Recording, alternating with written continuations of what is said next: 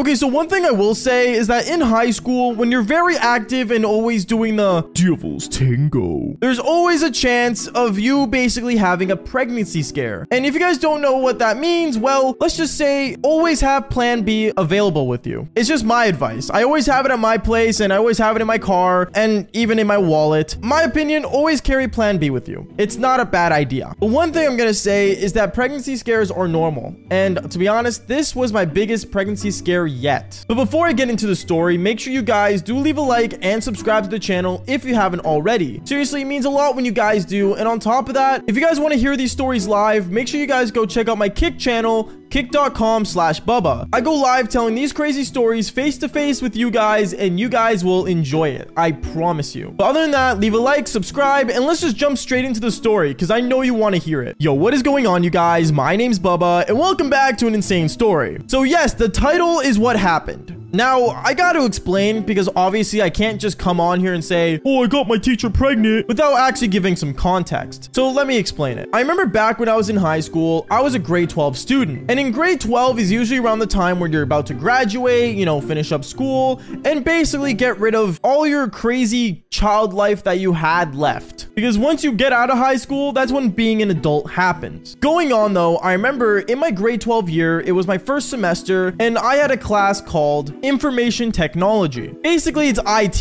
If you guys don't know what that is, it's basically a class where a bunch of nerds sit in a computer room and basically learn how to code. Now, me, the only reason I took this class was because one of my homies was taking the class with me, and I'm not gonna lie, we just did it for extra credits, and also, how hard could coding actually be? So I remember as me and my friend one time were sitting in class doing some coding, for some reason, there was a student in my class that was totally brain dead. And by brain dead, I mean he had major anger issues, and he was more bronze over brains, if that makes any sense. Meaning that he was really jacked and really big, but in terms of brains, he, well, was slower than the average uh, snail. Uh, I don't know, anything slow you can think of. And I remember this guy would always sit next to us or near us so he could copy off our work. And it kind of got annoying to the point where I remember I walked up to the teacher saying, yo, uh, this guy keeps copying off us. Is it cool if like you, you know, get rid of him or something or just move him to a different spot? I remember the teacher was a guy at the time and he said, oh yeah, like, I don't mind. Sure. Uh, I got you. And he ended up standing up and actually going to the guy and telling him, hey man, you can't copy other people's work. You gotta understand, you gotta do your own thing. What? I wasn't copying, is what the angry kid said. And then one thing led to another. He got really upset and ended up punching my teacher in the nose, but not lightly. It got to the point where he actually ended up breaking his nose somehow, and it was actually really mind blowing. But he ended up going to the hospital, and we ended up not having a teacher. And then I want to say the next day, well, a new teacher walked in, and this teacher was one of a kind. And by one of a kind, I mean she was no ordinary teacher. Like, I'm sorry, if you're gonna put a 27 year old baddie as our teacher, it's gonna be pretty obvious that instead of looking at the screen, I'm gonna look at her. But yeah, basically, we had a really hot teacher come in, and I was full on attracted to her. I thought she was amazing. She looked amazing. Like, oh my goodness, dude. Think of like the hottest chick walking into your classroom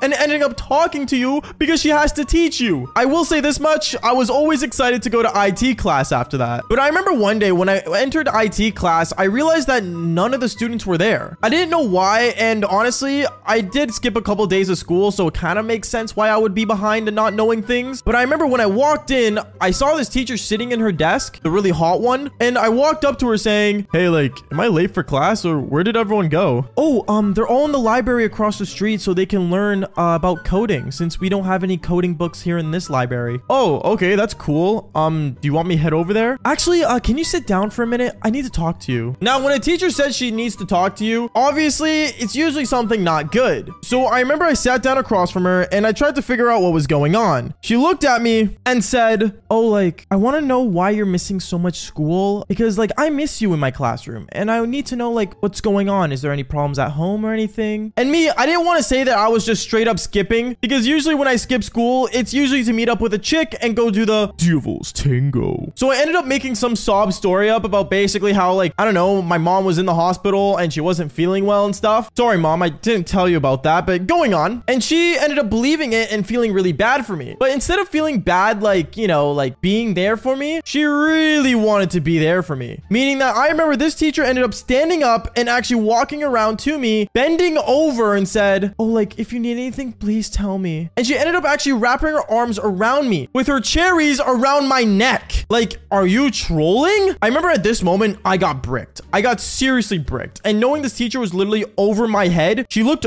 down at my pants and she saw that I was bricked. It got super embarrassing. And I remember I ended up basically getting my backpack and putting it on my lap just so I could cover it up. And the teacher looks at me and starts giggling. I ended up saying, uh, why are you laughing?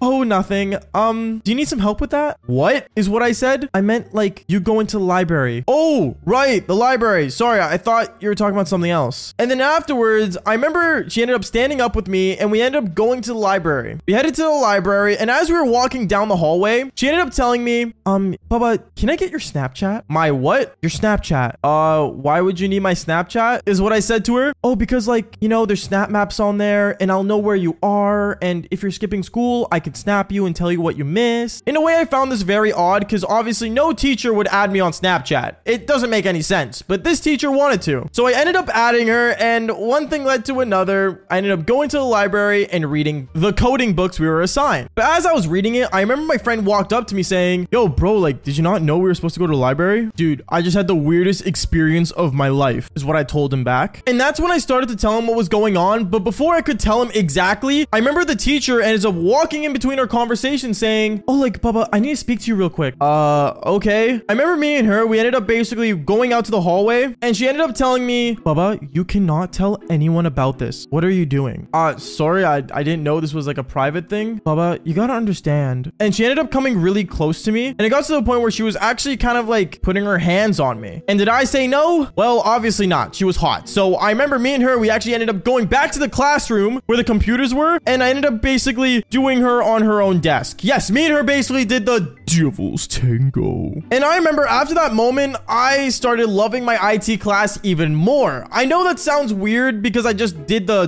Devil's Tango with my teacher, but understand this. At this point in time, it wasn't my first rodeo. I remember the next day, I ended up basically going to school and me and her, we'd always look at each other, we'd be flirtatious, and it gets to points where I'm not gonna lie, it was like having a secret girlfriend that no one knew about. It was really cool because I remember every day after school, me and her would actually end up going back to her place and I get to do my homework and get my teacher to help me all the time and then get an award for doing it, which was the Devil's Tango. Things felt so perfect until I remember one week later. One week later, I remember I ended up getting a Snapchat late at night when I was laying in bed. I ended up getting a Snapchat from my teacher and when I saw this, I found it weird because she never usually snaps me late at night. I remember I opened it and when I opened it, the photo was of a pregnancy test that was positive. I remember I ended up snapping her back saying, oh, like, what is that, a COVID test? Baba, I think I'm pregnant. What is what I said? And at this moment, I remember my life felt like it was falling apart. I started panicking. I started freaking out. I was thinking, do I tell my parents? But obviously, I did not know what to do. So let's just say what ended up happening next seemed really bad. But if you guys do want the next part of this story, make sure you guys do leave a like and subscribe to the channel if you haven't already. And on top of that, join me live on Kick because I'll probably tell the next part there. Anyways, like I always say, fall for more embarrassing stories. Peace out, guys.